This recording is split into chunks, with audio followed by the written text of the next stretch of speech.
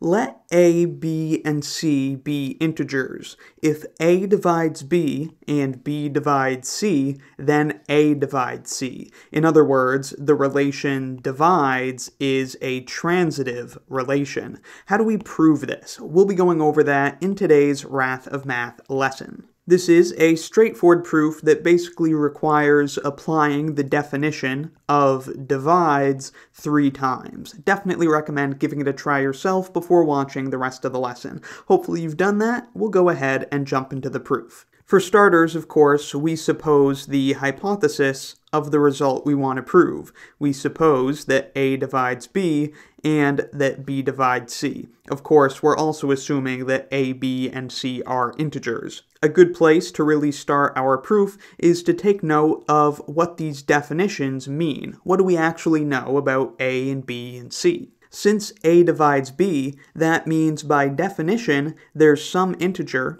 we'll call k that we can multiply a by in order to get b. So a times k equals b for some integer k. That is the definition of divides. If a divides b, b must equal a times k for some integer k. A similar thing, of course, is true with b and c. Since b divides c, there must be some integer we'll call j that we can multiply by b in order to get the number c.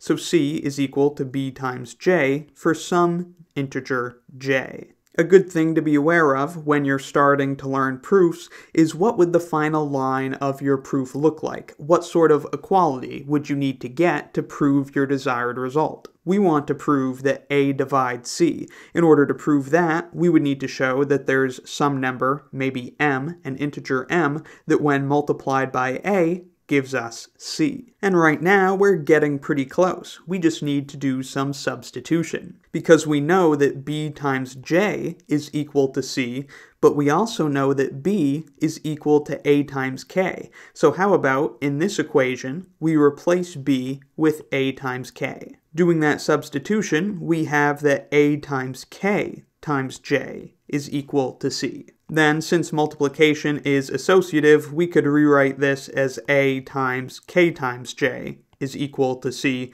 because the parentheses don't change the product. And this, my friends, is basically what we want. We know that k times j is an integer because the integers are closed under multiplication. If we multiply two integers, like k and j, we'll get another integer. Thus, we've just shown that there does exist an integer, this one k times j, that when multiplied by a, gives us a product of c, which is what we wanted. A times some integer is equal to c. We have just proven that. Thus, by definition of divides, this means that A does indeed divide C. And that's the proof. So if we have three integers, a, b, and c, and we know that a divides b and b divides c, then it must be the case that a divides c. Here's an example of this theorem in action. We know that 3 divides 6. We also know that 6 divides 18. So, since the relation divides is transitive, which is what we just proved,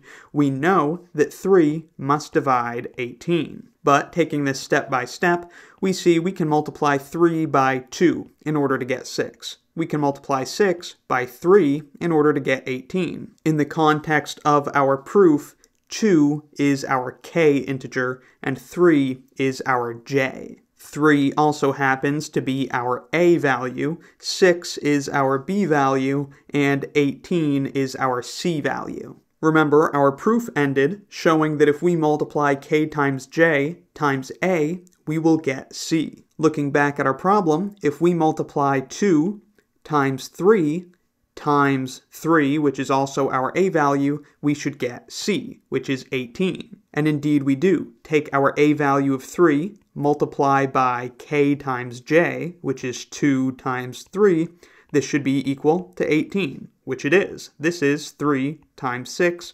That is absolutely equal to 18. So that's the proof, and that's the theorem in action. Hope this video helped you understand how to prove this fun little result about the divides relation. Let me know in the comments if you have any questions, need anything clarified, or have any other lesson requests. Thank you very much for watching, I'll see you next time, and be sure to subscribe for the swankiest math lessons on the internet. Plutonian dream is a hellfire home.